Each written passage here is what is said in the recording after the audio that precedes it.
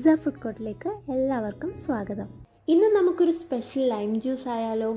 Mint lime juice മനസ്സും ശരീരവും ഒരുപോലെ തണുപ്പിക്കാനായിട്ടുള്ള ഒരു സ്പെഷ്യൽ ലൈം ജ്യൂസ് ആണ്. അപ്പോൾ ഇതെങ്ങനെയാണ് തയ്യാറാക്കുന്നതെന്ന് നോക്കിയാലോ? ആദ്യം തന്നെ ഇതിലേക്ക് വേണ്ടുന്ന ഷുഗർ സിറപ്പ് ഒന്ന് റെഡിയാക്കി എടുക്കാം. ഒരു സോസ് പാനിലേക്ക് ഒരു കപ്പ് അളവിൽ ഷുഗറും മുക്കാൽ കപ്പ് അളവിൽ വെള്ളവും കൂടി ചേർത്തിട്ടൊന്ന് തിളപ്പിക്കാനായിട്ട് വെക്കാം. ഇനി ഇതിലേക്ക് ഒരു രണ്ട് ഗ്രാമ്പൂ കൂടി ഇട്ടിട്ട് ഒന്ന് മിക്സ് ചെയ്തിട്ടെടുക്കാം. ഷുഗറൊക്കെ ഒന്ന് മെൽറ്റായി സിറപ്പ് നന്നായിട്ടൊന്ന് തിളച്ച് വരുന്നുണ്ട്.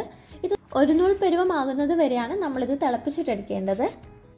തണുത്ത് കഴിഞ്ഞാൽ കുറച്ചും കൂടി ഒന്ന് തിക്കായിട്ടായിരിക്കും ഇരിക്കുന്നത്.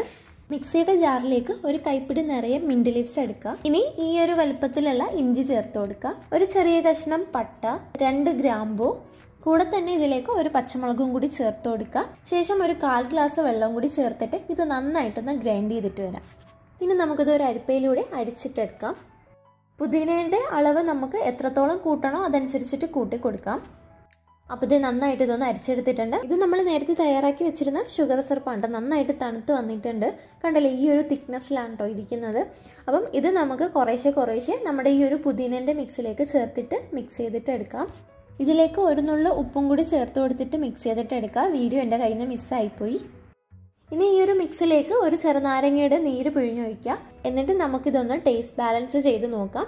ഇതുപോലെ റെഡിയാക്കി സൂക്ഷിച്ചാൽ ആവശ്യാനുസരണം നമുക്ക് കുറച്ചെടുത്തിട്ട് വെള്ളവുമായിട്ട് മിക്സ് ചെയ്ത് സെർവ് ചെയ്യാം. അപ്പോൾ നമ്മുടെ മിന്റ് ലൈമിന്റെ മിക്സ് ഇവിടെ റെഡി ആയിട്ടുണ്ട്. ഇനി ഇതെങ്ങനെ സെർവ് ചെയ്യുന്നതെന്ന് നോക്കിയാലോ.